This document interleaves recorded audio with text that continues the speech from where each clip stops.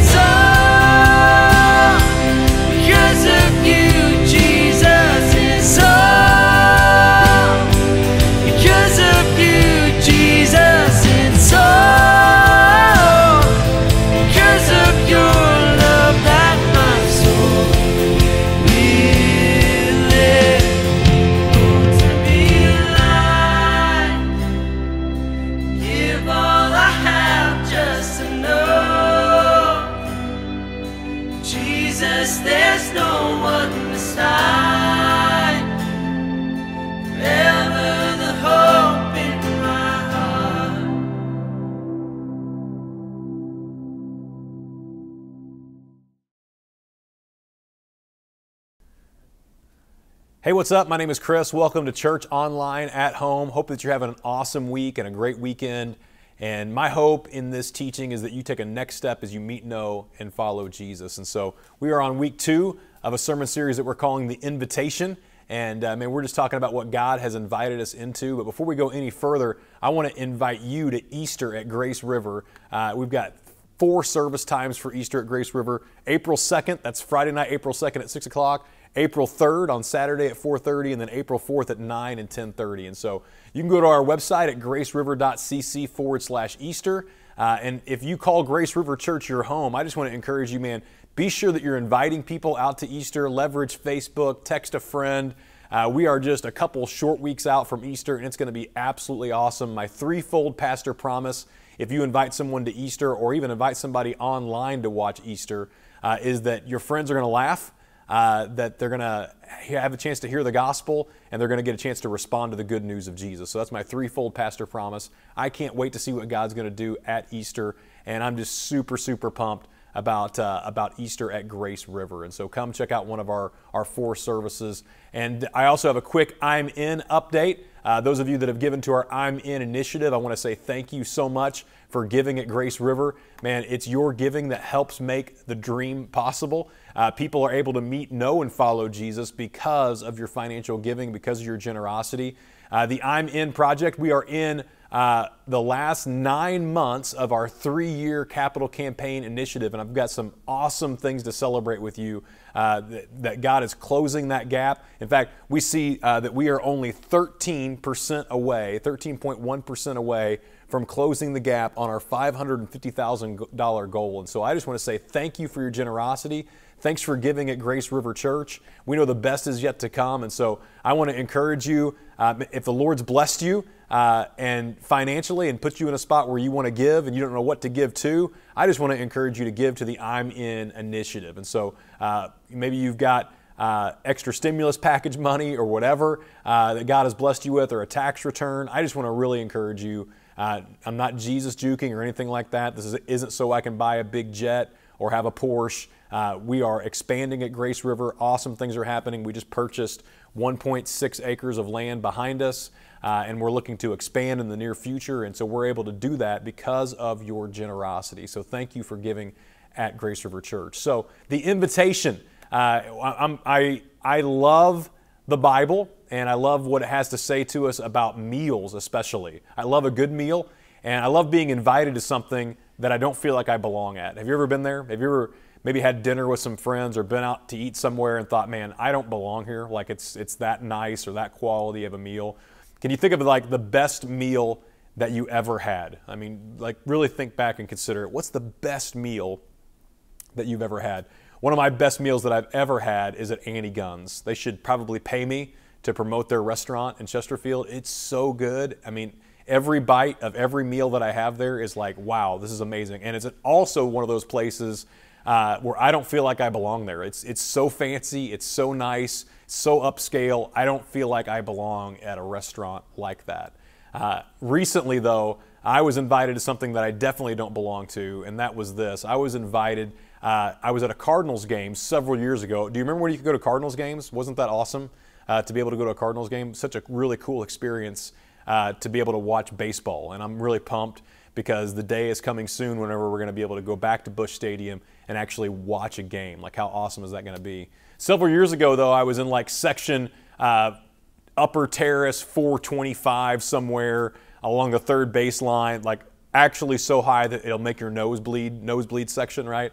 And uh, I posted on Facebook a picture of my son and I up in the nosebleeds. And a friend of mine was on Facebook at the game, but he had private club seats in some kind of a VIP lounge that was air conditioned, that had all you could eat and all you could drink. And I'm like, man, that sounds amazing, right? So we're texting back and forth, and he said, hey, man, I've actually got a couple open spots. I would love to invite you to my suite. And I'm like, uh, yeah. And so I was invited, And the invitation was such a gigantic upgrade that I didn't hesitate at all. That it was a pretty quick decision to say, man, I'm not going to stay in the cheap seats.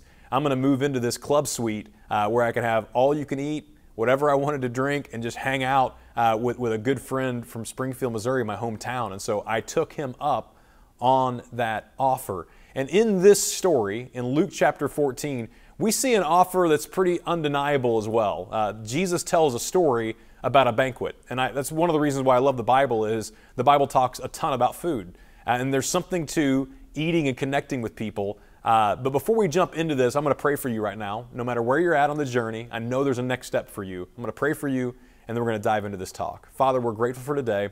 Thank you for all my friends that are watching and listening today. Lord, I pray that every single one of us would know the next step that we need to take on our journey and that we'd have the courage to take that step. God, I'm grateful again for your word. I'm grateful for your presence in our lives. And God, most of all, I'm blown away that you want anything to do with us. So, God, I pray that you'd help us to see that no matter where we've been, what we've done, or what's been done to us, you are absolutely crazy about us. It's in Jesus' name that we pray all of this. Amen. So, Luke chapter 14 is where we're at. Uh, read along with me. Uh, Luke 14, verses 15 through 24. Bible says this Hearing this, a man sitting at the table with Jesus exclaimed, What a blessing it will be to attend a banquet in the kingdom of God. Basically, uh, this person tells Jesus, Won't it be awesome to be in heaven and eat in heaven as they're eating? And so, uh, this is just proof that guys are always thinking about their next meal. I'm always thinking about the next meal. In this story, they're thinking about the next meal they're going to have in heaven. Jesus replied this with this story. And again, the audience in this moment would have been an audience of religious leaders. So keep that all in mind. A man prepared a great feast and sent out many invitations. Many invitations, that's key. When the banquet was ready, he sent his servants to tell the guests to come to the banquet, it's ready. Now, banquets during this time period, as Jesus is telling the story, are crucially important uh, because whenever food was served, there was no way to really preserve the food afterwards. Like today, we have a big feast uh, and if a big group of your friends don't show up, it's okay because you can refrigerate it and have lunch for the next week, right? But that's not the story here, okay? Uh, we go on to see. But they all begin making excuses. So the, the master invites his friends to a, a dinner party, and they all have excuses. One said, I have bought a field.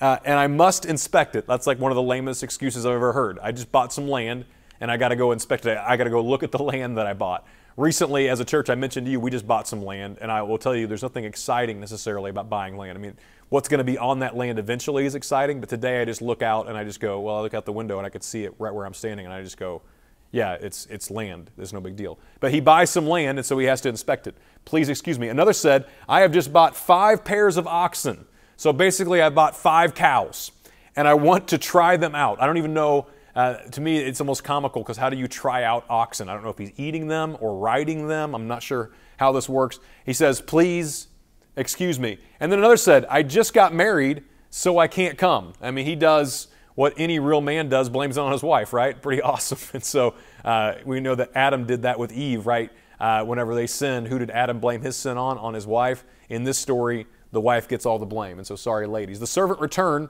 and told his master what they had said. His master, this is a shocking reaction, was furious and said, Go quickly into the streets and the alleys and the town and invite the poor, the crippled, the blind, and the lame. After the servant had done this, he reported this There is still room for, mo- for more. So his master said, Go into the country lanes and behind the hedges and, the, and urge anyone you find to come, so that the house will be full. For none of those I first invited will even get even the smallest taste of the banquet. Man, what, what a powerful story. And I'm going to unpack this a little bit and just talk about the excuses that we sometimes make uh, that keep us from saying yes to God. First of all, the excuses that this that these guys made, right? I just bought a field, I just got some oxen, I just got married. Again, back to the excuses, right?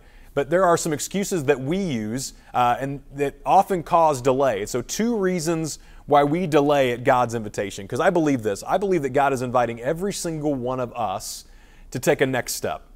And sometimes, right before we take a next step, we have this reason for delay. There's always an excuse, right? There's always something else that I have to do, always something else that takes priority.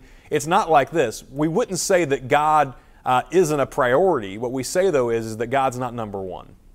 We give him a number, but we're for certain that he's not number one. And so what we do is we make excuses about why we can't say yes to God. And so ultimately, we say this because we simply say that it's not the right time, that at this moment, it's not the right time. So we get distracted with things. We get distracted by our possessions. So the things that we have will distract us. So we see that two of the three excuses were about possessions. It was about my land, right?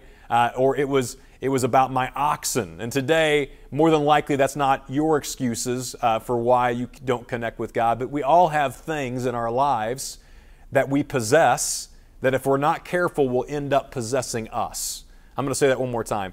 We all have things in our lives that we possess, and if we're not careful, those things will possess us. We will become obsessed with what we own instead of being obsessed with the person who gave us those things, which happens to be God. And so, one of the reasons, one of the major reasons we get distracted is our possessions, but it's also our priorities. It's, it's our, and a lot of times, and I think relationships are one of the most important things we can invest in, right? I mean, people are the investment that God wants us making. But here, here's what I want you to hear, though. God tells us uh, in the greatest command that there are two really important things that we should do with our lives to love God and to love people.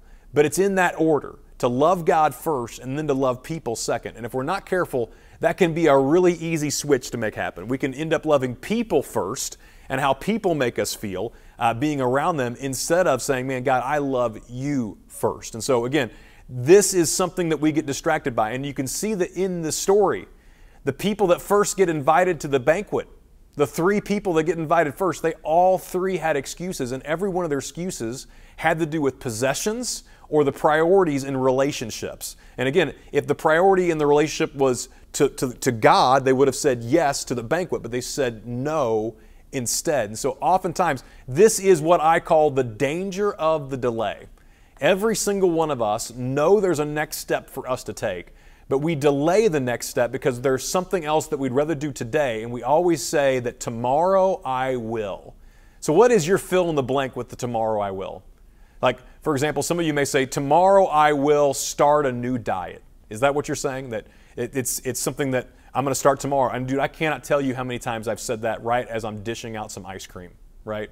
Uh, or right as I'm eating a candy bar, or whatever it is that I know that I've eaten a cookie or a piece of cake. Like, I always will say, man, good thing I'm starting that diet tomorrow. And then what happens tomorrow? Well, you say, well, I'm going to start the next day and the next day and the next day. Maybe you say, tomorrow, I know there's somebody I need to forgive. I'm going to forgive them tomorrow. Maybe it's tomorrow that you decide that you're going to stop that habit. Maybe it's tomorrow you decide that you're going to make that change. I just want to encourage you don't say yes to God tomorrow. Say yes to God today. Like, stop making the excuses. You can make excuses or you can make a difference with your life, but you can't do both. And so, man, maybe for you, it's deciding and making the decision to say, man, I'm done putting this off. I'm going to make God a priority in my life. He has invited you and I into this amazing relationship with Him.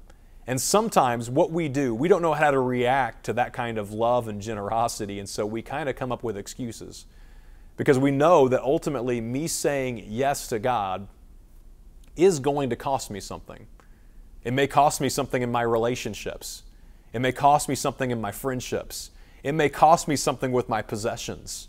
But here's the thing what we often do is we settle for the cheap seats when God has invited us into a VIP, air conditioned uh, situation where we can have all we can eat and all we can drink. And I just wonder what is it that God has invited you to that you're to this day making excuses to why you can't or why you shouldn't? I wonder what your next step is when it comes to this. And so, reason number one is we just simply say that it's not the right time. And that's exactly what the three people making the excuse said. It's not the right time. The reason number two is I don't feel like I belong. And again, have you ever just been in a situation where you feel like you don't belong there? Uh, I was kind of a dorky kid in, in high school, middle school, and I, I, I never knew where to sit at lunch. That was always like one of the most stressful times for me during the day because I never knew where to go. Like, what table do I sit at? Do I sit with the jocks or do I sit uh, with, the, with the kids that had all the name brand clothing? Or do I sit with the band kids, or do I sit with the? We had cowboys at our school, and so do I sit with like the redneck cowboy crew? Like who who do I hang out with, right? And I always felt this tension because I never really, uh, especially the first couple of years of high school, never really had a group that I felt a great connection to. Uh, and I would go and I would sit at a table, and I would, would always feel this feeling like I don't belong at the table. I want you to know when it comes to the kingdom of God, every single one of us belong. That's what I love about the back half of the story. The first half of the story is all about people that reject the presence of God, that say, yeah, God's a priority, He's just not the number one priority. The second part of this story is intriguing because it's all about God's relentless love for every kind of person. So, again, no matter where you've been, no matter what you've done, no matter what's been done to you, God is absolutely crazy about you. And we see that in the back part of this story. Let's look at the story again, just the back half of it. The servant returned and told his master what they had said, the ones that had made the excuses. His master was furious, and he said this Go quickly into the streets and the alleys uh, of the town and invite. I want you to notice the kind of people that get invited to the banquet the poor, the crippled, the blind, and the lame. The listeners of this story that were sitting at this table as Jesus is telling the story, the original listeners would have been wealthy religious people. Wealthy religious people looked down at the poor, at the crippled, at the blind, and at the lame because they were almost like in a different caste system. To look at them and to think that these were the people that got invited to the banquet, not the wealthy elite, not the spiritual, it was the poor, the crippled, the, the blind, and the lame. Those were the ones that got invited to the banquet. You see, it had nothing to do with what they owned. It had nothing to do with their religious pedigree. It had everything to do with the fact that they were people that God loved. And I wonder today, it may be you listening right now that thinks, man, I've gone too far. I've done too many bad things for God to love and accept me. And I want you to know that you have an invitation to the banquet just like anybody else. And we sometimes think, Chris, you don't know what I've done. I've taken a million steps away from God. You have no idea the mistakes that I've made in my life. And you're right, I, I have no clue what you've done in your life. But I know this I know what I've done, and God invites me into His presence. And I, I know what this story has to do with. This story has to do with categories of people that the rest of the world decided to throw out. But God said, No, you matter to me. And I want you to know if there's a fridge in heaven, your picture is stinking on it. God is crazy about you, and you have a spot at the table, just like I have a spot at the table, just like those three men that made the excuse have a spot at the table. We all get a spot. It's not about what I've done, it's about what's been done for me. And here's the thing we have a responsibility, one big responsibility, and it's this how will you respond to the invitation? We all get invited to something from time to time. You get it in the mail, or you get it in an email, or you get it in a Facebook message or a text message, an invite to a friend's party, an invite to a wedding or a wedding reception. And what do you do? You, you make a decision on whether you're going to go or not, don't you? Right? In this story, this second group of people made a decision to go. Look, see, after the servant had done this, he reported, There is still room for more. So check it out. That meant that they actually went that the poor, the crippled, the blind, and the lame made it a priority to say, no, no, we're going to the banquet, right? And what we find out is there's actually room even more. And so, so as Master said, go out to the country and the lanes behind the hedges and urge anyone you can find. Notice that. Anyone. Do you know who this whole Jesus thing is for? Anyone. It doesn't matter what your background is, doesn't matter how you were raised, doesn't matter what your religious background is, doesn't matter what you've been, what, what your hurts, what your habits, and what your hangups are. Like, it doesn't matter. Like, this message is for everyone. Urge anyone you can find to come so that the house will be full. For none of those I invited will get even the smallest taste of my banquet. The desire of God is that the house would be full. And I wonder what we can do to fill up his house. Maybe there's somebody that you need to invite to the banquet that you discounted and thought, there is no way they would ever show up to church. Maybe there's somebody that you need to invest in and begin to pray for uh, so that you can build a bridge to help them to understand that they're invited. Or maybe even you listening right now go, man, I don't fit in church. Uh, I don't fit in God's kingdom, and I want you to know you totally do. There's a next step for every single one of us to take. Maybe that next step is making a decision to say, I'm going to stop making excuses. Maybe the next step is you, are going to say, not tomorrow, but today, I'm going to make God number one in my life. Not tomorrow. I'm not going to put it off any longer, that today's the day I'm going to make Him the priority in my life. Or maybe today's the day that you realize that, man, you know what? The message of Jesus, the good news about the gospel is for you. The good news is, is this, is that God sent His only Son to come and die in your place.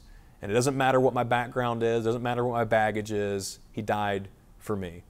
So maybe today it's just you accepting that truth and saying, man, I'm going to believe for the very first time that Jesus is for me the blind, the crippled, the lame. I don't know where you're at on the journey today, but I really do believe there's a next step for you.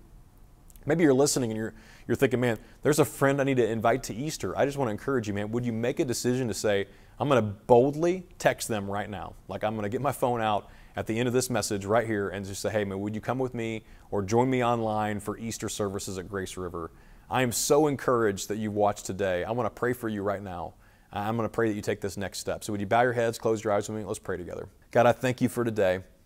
And I thank you for my friends that have watched. And I, I, I pray, Lord, that this message was received well that people would understand their need for you, and, and Lord, that we would each and every one of us see that we need to stop making excuses.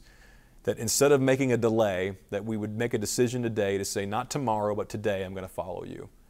God, I pray for the person listening that doesn't feel like they're worthy of your presence. God, help us to see that it's not about what we're worthy of, it's about what you did for us. God, I, I pray for the person that feels like the blind, the crippled, the lame today because they've just been beat up with life. Things are difficult financially, things are difficult relationally, things are difficult uh, in what feels like every area of their lives. And God, I pray today that you'd help them to see that you are absolutely crazy about them. No matter the past hurt, shame, and regret, you love them. So, God, I pray that you would help us to solidify that relationship with you. And then, thirdly, God, I, I pray for those of us that know we need to be inviting people to the banquet. Help us to go out and let everyone know and to make your house full. God, inspire us this week to do that, to live on mission for you. It's in Jesus' name we pray all of this. Amen. Hey, again, I want to say thank you for, uh, for, for listening and for, for paying attention. Thank you so much. You are awesome. I cannot wait to see you out at Easter at Grace River Church. Four services. Check us out at graceriver.cc forward slash Easter. Hope you have an awesome day. Thanks. Thank you again for joining us at Grace River Church Online. Here at Grace River, we worship in three different ways. We worship through hearing God's Word, we worship through song, and we worship by giving back to the God who gives us everything. And we believe that we are the owners of nothing, but the managers of everything. And today, we have the opportunity to give online at the website on your screen. This is the way that my husband and I give, and it's super easy, and it helps to ensure that we're giving back to the God who gave us everything first. So, thank you again for joining us, and we hope to see you again next week.